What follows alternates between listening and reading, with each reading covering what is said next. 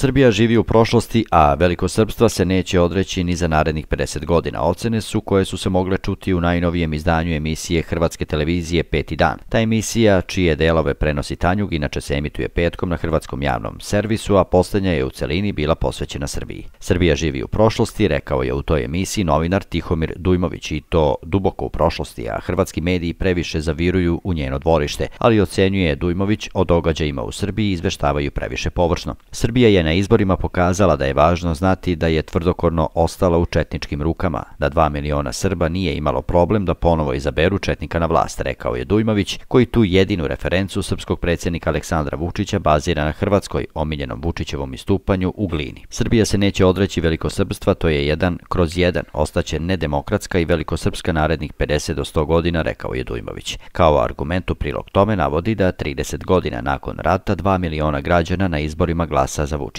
Aleksandar Musić je pak analizirao srpsku opoziciju te rekao da je ona izvršila samoubistvo, da je vode potrošeni političari poput Dragana Đilasa i Vuka Jeremića, a da je jedini tračak svetlosti Boško Obradović, kojeg međutim i starice nazivaju fašistom i ljotićevcem, zahvaljujući srpskim tabloidima. Opozicija se, kaže, bavi promašenim temama. Potpisivali su u svoje vreme sve što su im tražili kosovski albanci i što je od njih tražila međunarodna zajednica, a sada, navodi Musić, pokušavaju da glume nacionaliste. Musić kaže da su lideri srpske opozicije patetični, a da im je najveća greška to što ignorišu Vučićevo biračko telo, koja je, kaže, ogromno. Kaže i da je Vučićeva mašinerija kreirana tako da ima i svoje četničko kao i evropsko i socijalno lice.